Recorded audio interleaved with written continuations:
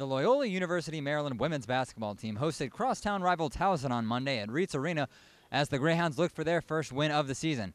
Unfortunately for the Greyhounds, a strong second half from the Tigers proved too much for Loyola, and Towson escaped victorious 59 51.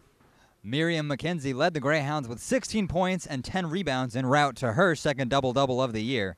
McKenzie helped Loyola to an opening 13 5 run, scoring seven of the team's first nine points. But the Tigers would catch up throughout the first half and took a lead in the closing minutes, taking a 23 20 lead into the halftime break. Loyola battled back throughout the second half, but the Tigers would hold on to a lead thanks to leading scorer Dre Fuchs, who scored 24 points in the game. Greyhounds attempted to narrow the gap thanks in part to the play of Katie Sheehan and Erica DiClemente, who hit several big shots down the stretch.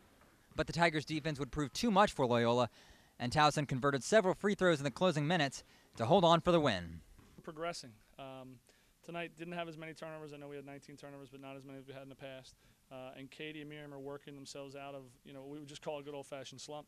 Um, I think over the course of the season, if we can get them 33 shots, uh, I think they'll make more than they miss. Um, and we're getting better. I think we played a tough schedule. You know, Towson's another CAA opponent. Um, Joe Matthews does a great job, and at the end there, they made all their free throws. You know, that's what it came down to. But we executed some good late game stuff. Um, I thought our freshman NECA gave us some good minutes. She's learning. We're not pleased with the results. Obviously, we're not happy. We're not, you know, big moral victory people.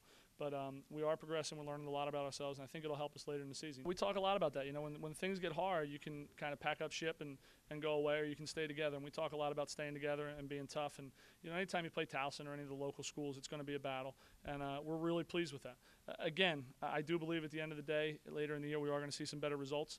But uh, very, very pleased with how we stay together. Pleased with you know our bench play and how tough we're playing on the floor. I think those things will all pay off later in the season. Thanks, Coach. Thank you. Happy Thanksgiving.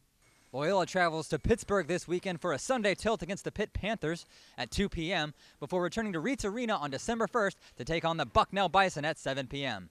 For tickets and all your Greyhound information, log on to www.loyolagreyhounds.com.